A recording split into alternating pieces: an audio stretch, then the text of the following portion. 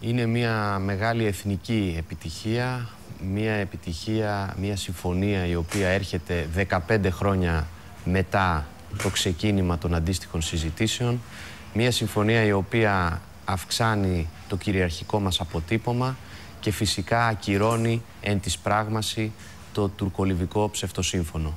Ε, παράλληλα αποδεικνύει και δημιουργεί και ένα θετικό προηγούμενο για το πώς ε, πρέπει να ορίζονται θαλάσσιες ζώνες, πώς συνάπτονται συμφωνίες ε, μεταξύ ε, γειτονικών κρατών και αλλάζει φυσικά και τα δεδομένα στην Ανατολική Μεσόγειο, αποδεικνύοντας, επαναλαμβάνω ξανά εν της πράγμαση, τη σταθερή γραμμή μας ότι τα νησιά μας έχουν κανονικά δικαιώματα σε θαλάσσιες ζώνες, σε υφαλοκρηπίδα και ΑΟΣ. Η, η, η μόνη κριτική που ακούω, μέσα στην αμηχανία φαντάζομαι βέβαια, ε, την αντιπολιτευτική είναι αυτή.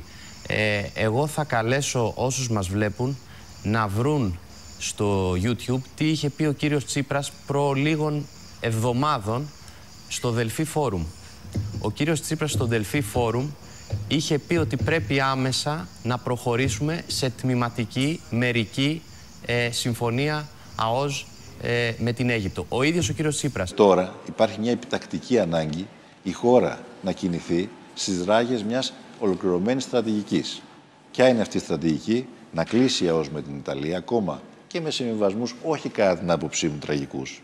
Να κλείσει και με την Αίγυπτο. Είναι το κρίσιμο η Αίγυπτος. Να κλείσει και με την Αίγυπτο με, με αντίστοιχους ενδεχομένως. Μερική, τώρα, έστω και μερική τώρα, οριοθέτηση. Να, ναι, βεβαίως. Mm. Μερική οριοθέτηση. Τμηματικά θα πάμε. Άρα καλύτερη απάντηση σε αυτή την ψευτοκριτική από τα ίδια που έλεγαν οι ίδιοι προ λίγων μηνών και προ λίγων ετών που κυβερνούσαν όταν προσπαθούσαν και αυτοί αλλά δεν πρόλαβαν μάλλον θα μας πούν ε, δεν υπάρχει σε συνδυασμό βέβαια με τις αντιδράσεις της Τουρκίας. γιατί αν αυτή η συμφωνία δεν έχει τίποτα να προσδώσει από αυτά που είπα τότε γιατί αντιδράει η Τουρκία και μαζί με την Τουρκία και ο ΣΥΡΙΖΑ;